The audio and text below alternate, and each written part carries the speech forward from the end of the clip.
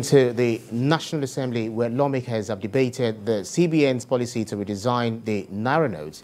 A session turned rowdy following a point of order raised by Senator Uba Sani urging the Senate to throw its weight behind the policy.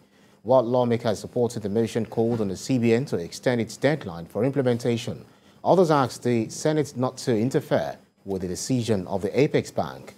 National Assembly correspondent Tejesu Adeoye reports, and after this report, we have business stories for you. The CBN's decision on its new policy to redesign the Naira notes is still generating concerns in several quarters in the country. The CBN governor's insistence on redesigning Nigeria's banknotes has already caused a ripple effect on the country's economy with an unstable forex rate and rising inflation.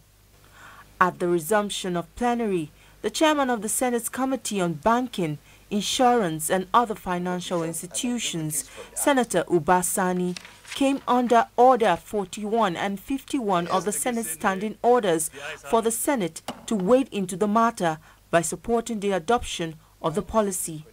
Mandate the Committee on Banking, Insurance and other financial institutions to embark on an aggressive oversight to ensure that Nigerians are adequately protected from the CBN banks and other agencies involved in the process. Some of his colleagues who supported the motion believe the new policy is a positive development, but urged the CBN governor to extend the implementation deadline set by the CBN. One month and a half is extremely short for what we're about to do.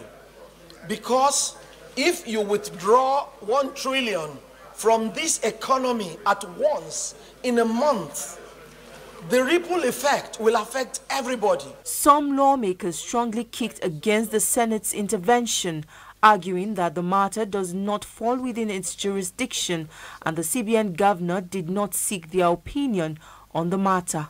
Then there was no consultation. After the printing has commenced, the president has approved as a legislative support. It will be ridiculous for us to go ahead and do that. Let him go ahead and do what he's doing. Take your seats.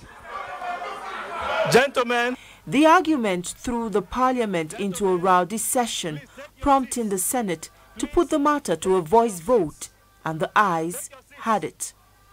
Those in favor say aye. Those against say nay. The ayes have it. This is another win for the CBN's move to redesign some denominations of Nigeria's legal tender. TJ Swadio, News, Abuja.